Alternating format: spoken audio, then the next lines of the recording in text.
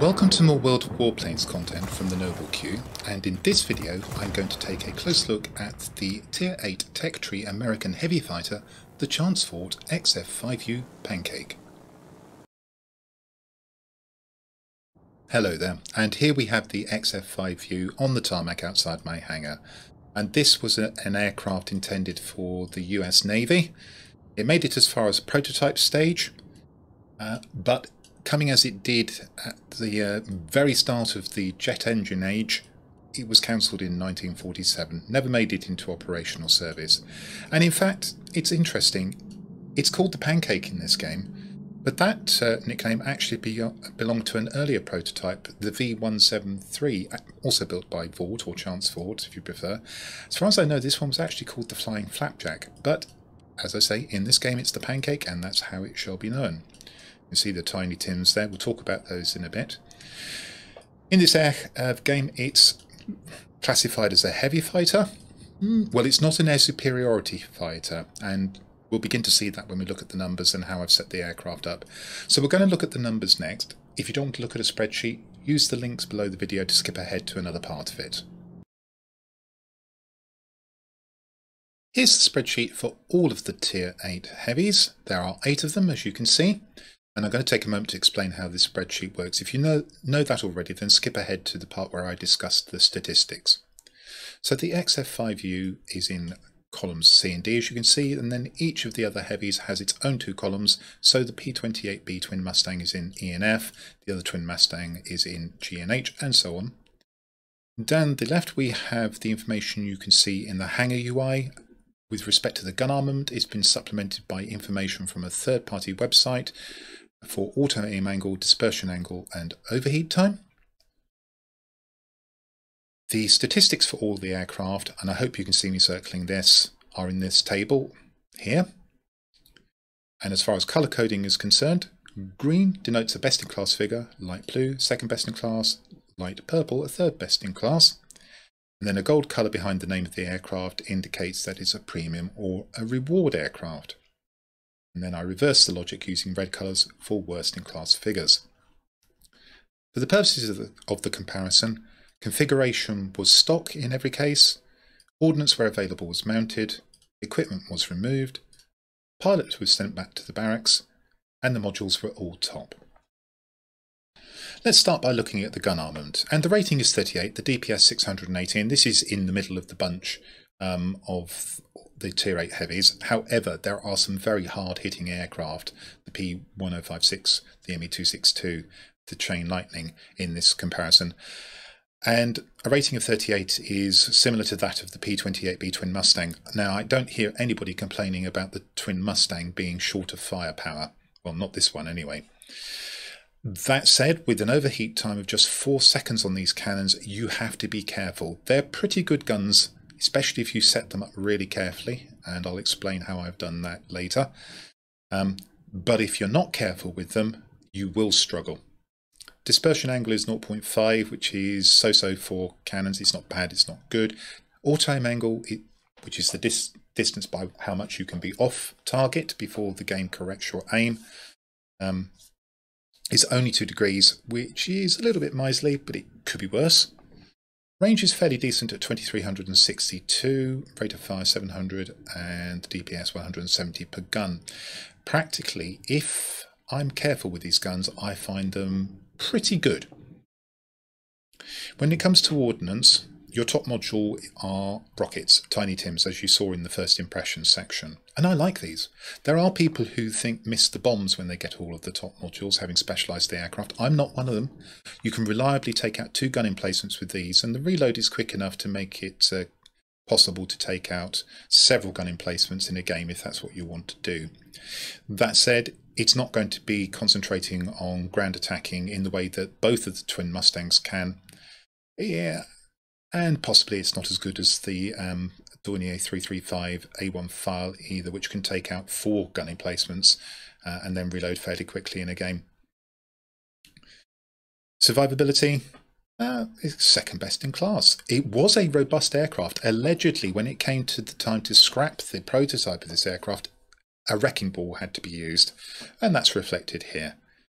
Fire resistance figures are best in class, damage resistance figures are best in class, and the hit points, as you can see, are second best in class. So it's quite rugged. Airspeed, well, the heavies are fairly much of a muchness. The ME262 is pretty quick, but all of the rest of the aircraft all lie within about five rating points of one another. Um, however, there's something that's hidden here on the best in class figures, so I'll just drop down to the worst in class figures uh, uh here. You want to watch out for your boost duration. Manage it carefully. It's the worst in class. It's only 20 seconds. And the dive speed is not very good either for a heavy. Don't dive away from other heavies. That's not your escape method.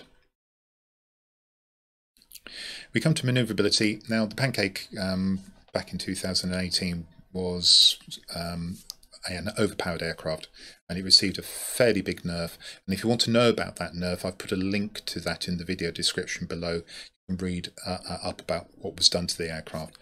Until the advent of the twin Mustangs, however, this aircraft was as manoeuvrable as any of the other heavies, and it wasn't unusual for it to be built with manoeuvrability, and that manoeuvrability would be used against other heavies. Now, Given the presence of the twin Mustangs, you need to be a bit careful about using that approach and change it if these are in the game uh, on the enemy team.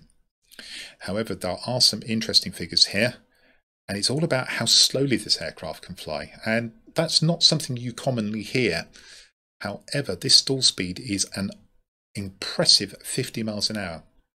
Not only can you make heavies fly past you, and then you can hit them with the guns, you can make almost anything fly past you and you can hit them with the guns, and that includes light fighters. This is an interesting mechanic and it is worth experimenting with. If you're in trouble, slam the brakes on and see if you can get your opponent to fly past you. You may very well find that you turn the tables on him with this. And when we come to altitude performance, it's not a particularly high flying aircraft, but what it does have going for it is a best-in-class climb rate, and there's your escape method from other heavies. If you're quick about it, and particularly if you improve this figure, which you can with the right choice of equipment, you can often escape from other heavies by basically flying straight upwards. We just take a quick look at the worst in class figures and see if there's anything else we can glean from this. I'm not going to worry too much about the fact that this third worst in class armament, it's good enough if you are careful with it and you set it up correctly. I've already adverted to the maximum dive speed. I'll just draw your attention to it again to ram home the points. The aircraft is not particularly fast in terms of its maximum optimum speed probably you're not going to really notice that in a game. You'll be too busy flying around and turning and weaving and ducking and diving to really pay attention to your speed unless you can do it in a way that I can't. And the altitude performance, I did say it's certainly uh, not particularly good compared to the other heavies. You can see that um, it's definitely at the lower end of the scale in terms of its maximum optimum altitude and its service ceiling. But you're not going to really worry about too much um, that too much uh, with the pancake anyway. This is not an air superiority heavy. In fact, if anything, this is almost a hybrid of a heavy and a multi-role, and indeed, to some degree, especially with that low speed there being a, meaning that it can mix it with light fighters, it's also a bit of a light fighter. So try and fly this in a way that you might fly your multi-roles and your fighters when you get the opportunity. Try and use the ordnance to uh, good effect to flip sectors. Don't try and fly this as a true air superiority heavy. That's not the way to uh, succeed in this plane. Now we're going to take a look at how I've set my uh, pancake up and this aircraft is specialized which means I have all of the equipment and consumable slots available to me. This is what you'd be missing when you uh, have this aircraft in stock configuration and it's quite a lot because of course it's a Tetri aircraft. Um, of five equipment slots, one will be missing off the airframe and one will be missing off the engine. And then of the consumables, you'll be missing one slot off the engines. Let's go and put this back into specialist configuration and let's talk about what I've actually done.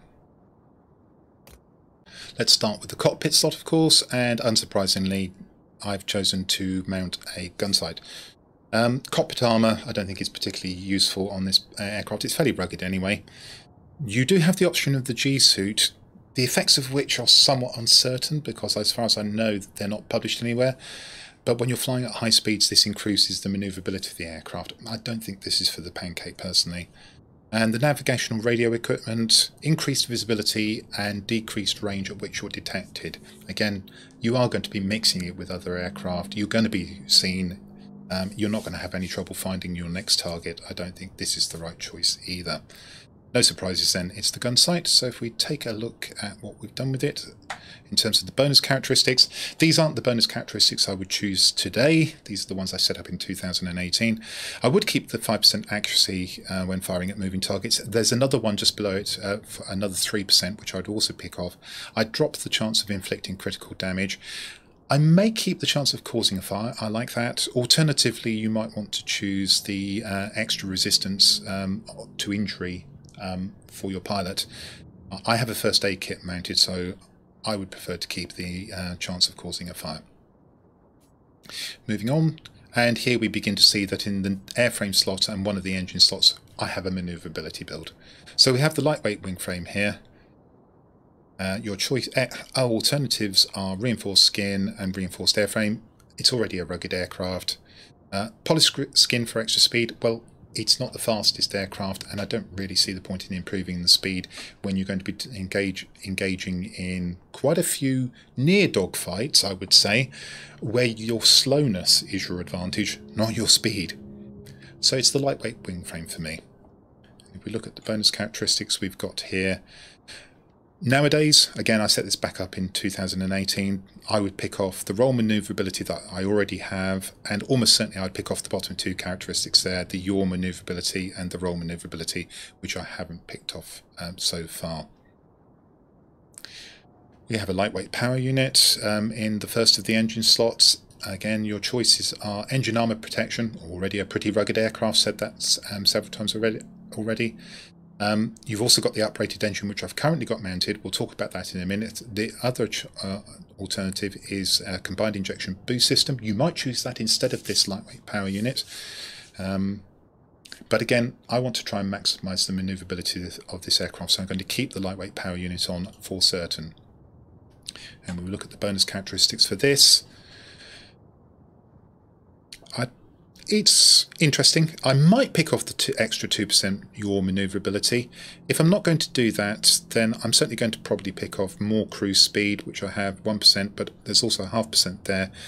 Um, or I may just keep it as it is, so I've got the two acceleration figures. Um, the last choice is uh, resistance to critical damage for the engine. Not my favourite choice.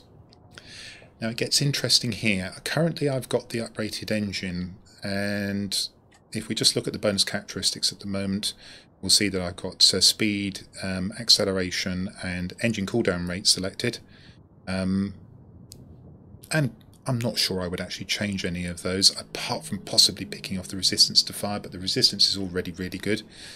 Um, and I think I can actually afford to take the uprated engine, even though it impacts the resistance to fire. That's a a negative characteristic, as you can see there in red, I can still feel comfortable enough to take a first aid kit and not a fire extinguisher. However, I don't think if I was setting this aircraft up again that this is the piece of equipment that I would choose. And the reason being is your altitude performance, particularly your rate of climb. Now, the base rate of climb I mentioned was 465 feet per second. It's already 480 here. And if I'm seeking to use the rate of climb as an escape method, probably I want to improve that even more. And the way to do that would be to actually mount the combined injection boost system. Now I only have an improved level combined injection uh, high, sorry, high speed gas turbine I should be saying here. To mount. So, but let's just quickly pop it on. And already, even though this is only at approved level, there are two further levels, advanced and ultimate level, and of course calibration to come on top of this. The altitude performance is improved here by a, another 11 feet per second. So you can see that you're going to get a fairly big improvement once this, this piece of equipment uh, is taken up two levels and then fully calibrated. And I would almost certainly do that. It would also improve your boost speed Here we can see it's already 10 and there will be more to come, so you could fly pretty quickly. Unfortunately, it will impact your cruise speed. Well, I've already said uh, that you will look to be flying fairly slowly in this aircraft at times. Is that much of a problem? I'll leave it to you to judge. I don't think it is personally. The other problem will be is that your boost duration will be taken down a little bit, but there are bonus characteristics you can use um, to offset this. Currently it drops by 2. Once this is taken up to ultimate level and calibrated a bit, that could drop by 3, but then you can use a bonus characteristic to probably get it back to minus 2. And this is the piece of equipment that if I had an ultimate level uh, high-speed gas turbine, I would choose today. However, I didn't.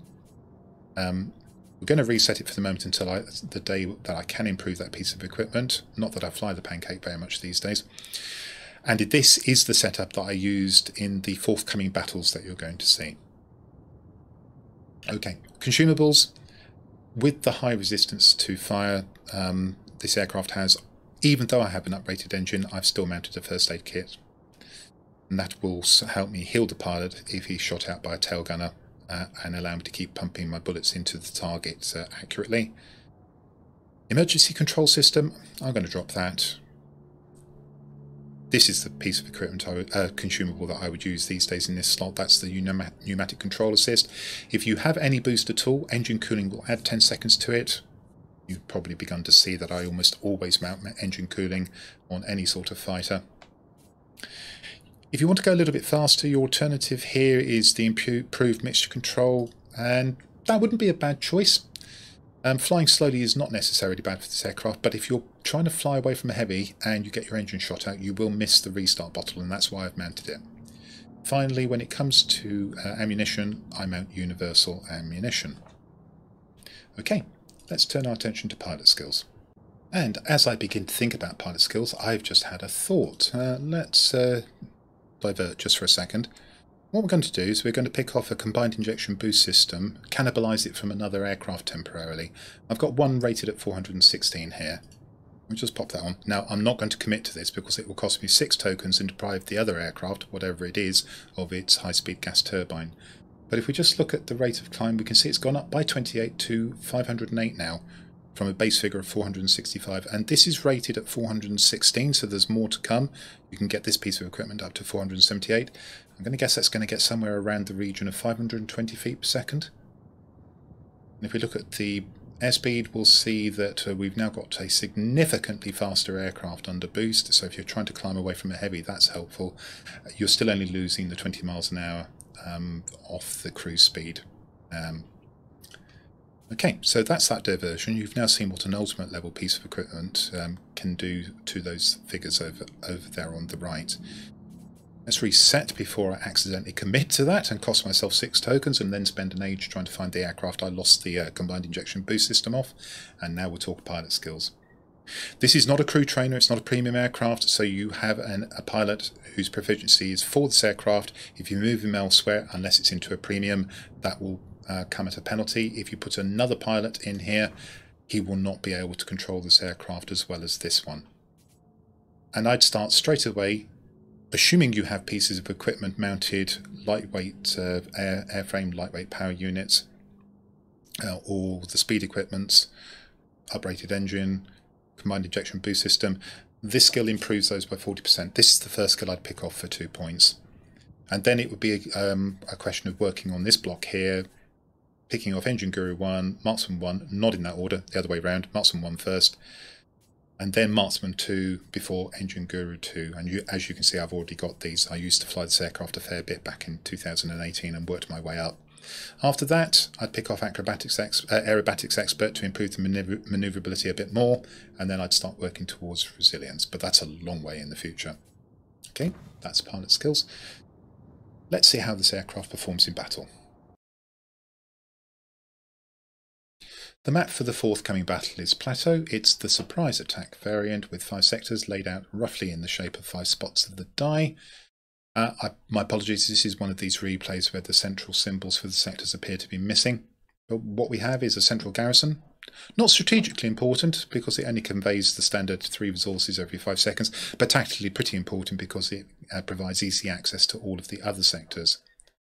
And then on one axis, about uh, the garrison, we have what I think are the just about the most important uh, uh, sectors strategically, a pair of mining plants, one near each spawn. And then on the other axis, similarly, we have nearly as important as the mining plants, command centers. These release bomber flights to attack enemy sectors. And again, we have one near each spawn. Now, you may think that the way to win this battle is to try and hold your local command centre in the mining plant and then the garrison in the middle at minimum so that you can easily attack the enemy's mining plant and command centre. Practically, what tends to happen is that each team gets one side of the map, so they tend to do something like take their local mining plant and then the enemy uh, command centre, and the enemy takes their local mining plant and your uh, command centre. Um, and then it becomes a question of who can most easily try and seize back control of their local resource that they've lost to the enemy. It can be that kind of lopsided battle. Whichever, you end up trying to hold at least two sectors, either these two or these two, if you're the red spawn here, and the garrison to allow you to try and get hold, at least for some period of time, the enemy sectors. If we look at the order of battle, we can see that I'm top tier in my pancake and I have a tier 7 BF109G for company. The enemy has two tier 8s, a Junkers 288C and a Spitfire 14. Okay, well the bomber on a two plant map, I think, in terms purely of planes, gives the enemy an advantage. But let's see how this battle played out. What I didn't mention in the strategy and tactics section is that there are in fact two spawns per side on this uh, map, one near the command centre and one near the mining plant.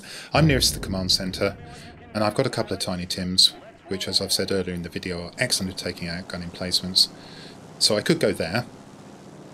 Alternatively, I could try and intercept what I assume will be the bomber uh, at uh, the enemy's mining plant and that's what I've decided to do on this occasion. Now this is a high risk strategy. The safe option is to make sure of the command centre and then assess what needs to be done with respect to perhaps the garrison, this mining plant that I'm approaching now, or even one's own mining plant.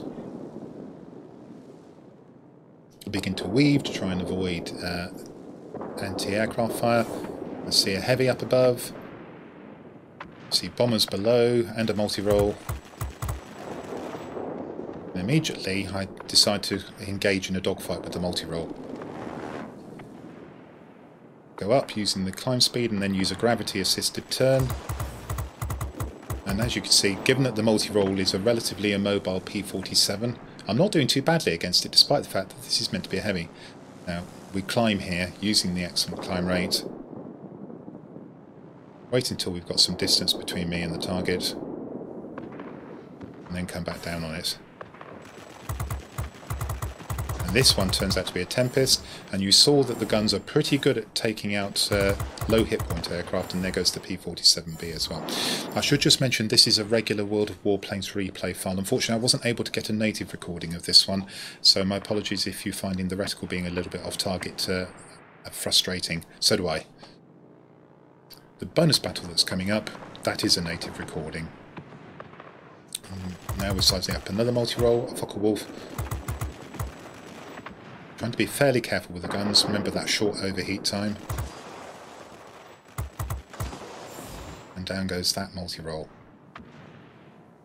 Now we've got our garrison. Uh, got the garrison, I should say, in the centre. It's slightly surprising to me, but we haven't taken our command centre, nor have we taken our plant. So now it's becoming critical that I don't let the enemy get this if I can possibly avoid it. Now we're sizing up our first bomber. The AA sizes me up. Forgot to weave enough. And then I have to disengage because there's a multi-role. Another Focke-Wulf and indeed a Tempest as well. There's a lot of enemy aircraft here. I Managed to get back on the bomber, but I realise I can't sit on him any longer. Lose my engine, put it back in. Fire at the Focke-Wulf. Decide to fly away. Now I've accidentally fired off one of my tiny Tims with my fat fingers, which is a bit of a shame.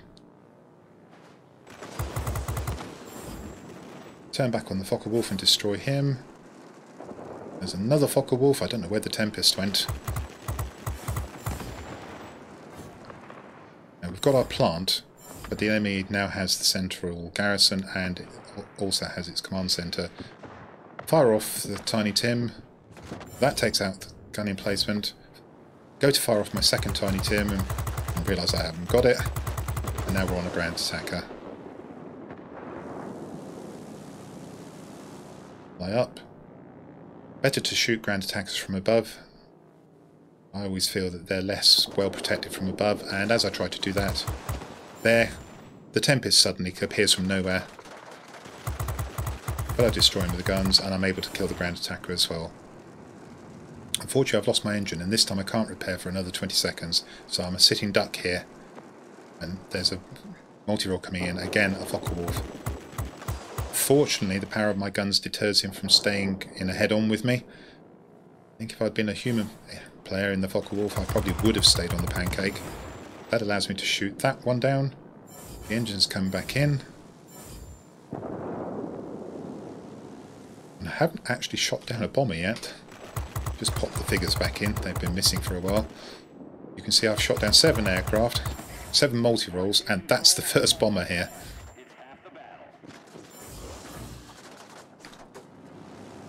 Took a lot of damage from that. But we now have the plant. That was a hard fight, but my high-risk strategy has reaped rewards.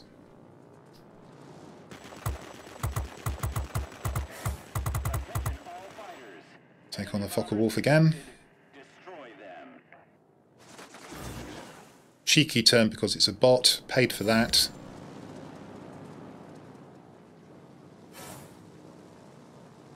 fly away, and then I see the Tempest coming into range. Short bursts, not very effective ones on this occasion. Now we're beginning to damage the Tempest.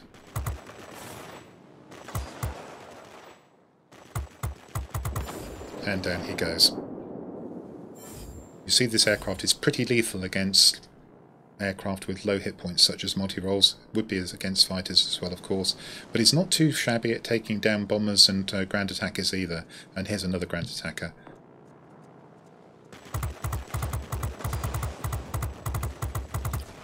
Overheat there. But I've got a pretty good cooldown rate. Here I've lost my pilot all, I'm on one hit point I'm going to go down here but I do manage to get that multi-role before I go down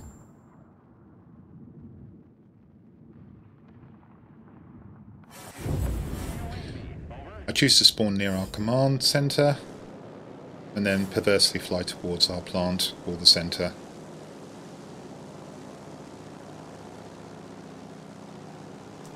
And that was because as I spawned, I was going to attack the aircraft at the command center, but I can see the bomber, and I guessed it might be the human bomber, but it's not.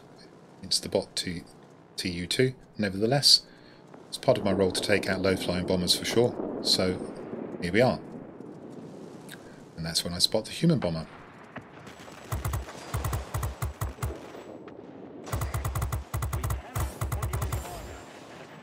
Deal with the TU-2, swing round back towards what I assume will be the human bomber approaching me. From very low health, so it should be an easy kill. And so it is. Now we lost our local plant, but we've had so possession of so many sectors for so long, we've got a very healthy lead here. I think it may be time for another multi-role. There it goes. That's my 10th of the game. 10th multi-role. 14th aircraft. And now we're looking for targets.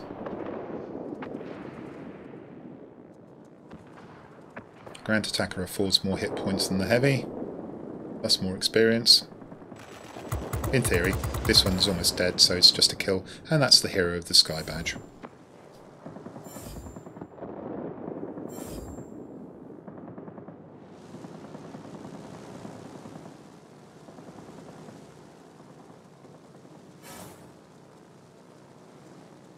And just before the end of the game. We're flying back to protect this plant. Find another ground attacker. Ah, sadly, One of my multi-roles finishes it off. And then as I swing for the multi-role, that gets finished off as well. Nonetheless, highly successful game. High-risk strategy paid dividends there. And we have a host of medals and 19,000 personal points. Let's take a look at the outcome of this battle, and as we can see from the centre, it's a 5 chevron battle, or a grade 1 heavy fighter. That grossed 113,932 credits, of which um, nearly 38,000 came from a premium account bonus. We look in the message box, we can see that there were expenses of 9,400 credits for losing the aircraft once, that's repair costs. I was using prepaid consumables, so no expenses there. 8,386 experience. The base there was 3,289, premium account bonus 1,600 or thereabouts, and then liveries and the like uh, provided the rest of the bonus. 419 for experience, first win of the day, uh, 337 um, base, 82 for premium account. No tokens, but there are a couple, three in fact, uh, epic achievements here with the McGuire's Medal, Winged Legend, and Hero of the Sky. On the personal score tab, we can see that two of the three um, class-specific missions are complete. The last one, attack aircraft and bombers, um, three-fifths complete. That's the bare minimum uh, for a five chevron battle. Just made it. Lucky I took that uh, attack aircraft right at the end there. 19,120 um, personal points, one sector captured, that hard fight for the mining plant. Uh, aerial targets 15 destroyed, uh, 7,911 damage to aerial targets, a critical damage of 26. Lost the aircraft once, as I've already mentioned. Uh, capture points 518, that was divided into 200 for defending, and unsurprisingly, the majority 380 for attacking. Uh, one target ground target destroyed. Obviously missed uh, one of the gun emplacements, that was naughty, uh, for 2,210 damage. Look at the team score tab, we can see that was the enough for first place both by chevrons and personal points. And uh, the BF-109G down tiered in a difficult aircraft, no disrespect there. Um, good effort from the Spitfire, tier 8 here, 14,405. Bit unlucky to lose the battle, I should think he thinks and the human bomber um, could have probably done a little bit better, although I did stop him once. Nice battle to win. And that concludes my look at the Chance-Vought XF5U Pancake, which isn't an air superiority heavy, so I've built it for manoeuvrability. I've carefully built the guns, and I manage them as just as carefully in battle to get the most out of them. I use the excellent climb rate as an escape method, and the tiny tims are always useful for flipping sectors. Well, I hope you found that useful, and that if you did, you'll come and see my future content. And although I'm going to leave the video at this point, stick around. There's a bonus feature, an unnarrated battle coming up, which I hope you'll enjoy. But until the next time, this is the Noble Q signing out.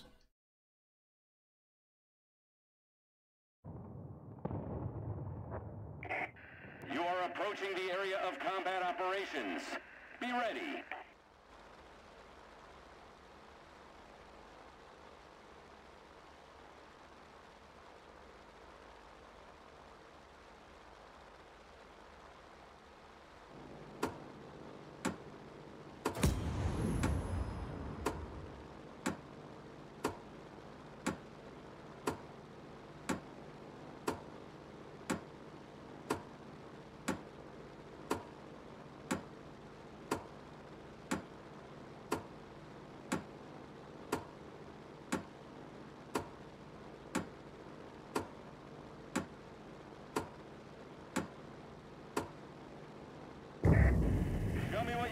Pilots.